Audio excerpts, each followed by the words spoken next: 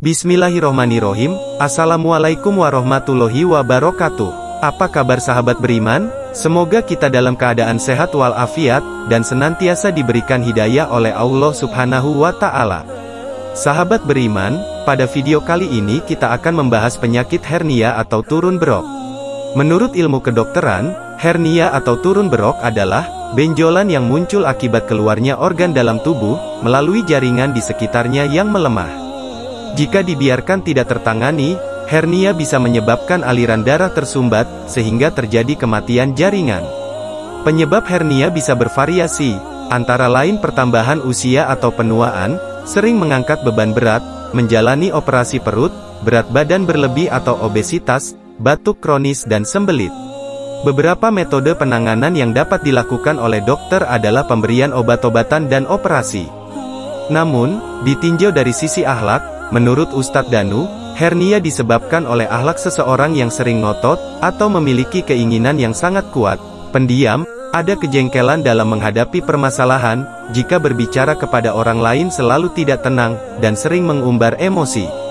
Pertanyaannya, bagaimana mungkin ahlak bisa mempengaruhi kesehatan seseorang?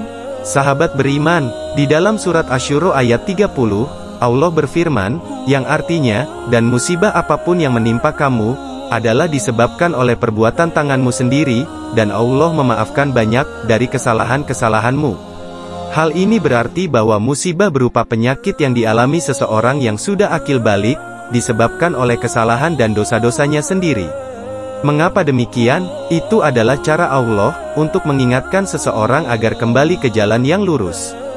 Dalam surat As-Sajadah ayat 21, Allah berfirman yang artinya, dan pasti kami timpakan kepada mereka sebagian siksa yang dekat, di dunia, sebelum azab yang lebih besar, di akhirat, agar mereka kembali, ke jalan yang benar. Menurut Ustadz Danu, siksa dekat di dunia maksudnya adalah musibah berupa penyakit, sedangkan azab yang lebih besar di akhirat maksudnya adalah neraka. Artinya, bagian tubuh kita yang sakit di dunia, kelak akan disiksa di akhirat. Sangat mengerikan bukan? Oleh karena itu, bersegeralah memohon ampunan kepada Allah, dan senantiasa belajar memperbaiki akhlak, agar kita diberikan nikmat berupa kesehatan di dunia, dan dihindarkan dari siksa neraka di akhirat.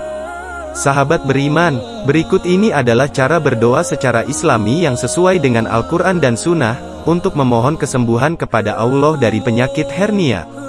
Auzubillahiminasyaitonirrojim, Bismillahirrohmanirrohim, Alhamdulillahirrobil alamin.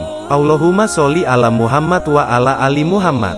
Kama solaita ala Ibrahim wa ala ali Ibrahim. Wa barik ala Muhammad wa ala ali Muhammad. Kama barokta ala Ibrahim wa ala ali Ibrahim. Fil alamina inaka hamidu majid. Ashadu la ilaha illallah wa ashadu anna muhammadar rasulullah. Ya Allah, iyaka budu wa iyaka nastain.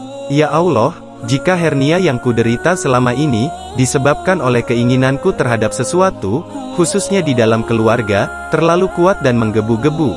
Jika itu salah dan dosa di hadapanmu, maka ampunilah dosaku ya Allah. Ya Allah, ampunilah dosa dan kesalahanku, jika aku sering jengkel dalam menghadapi permasalahan, tidak pernah tenang jika berbicara dengan orang lain, dan sering mengumbar emosi.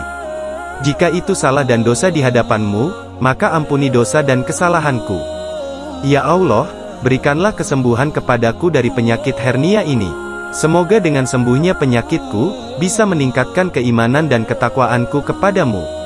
Amin, ya robbal alamin. Subhanallah walhamdulillah, wala ilaha illallah wallahu akbar.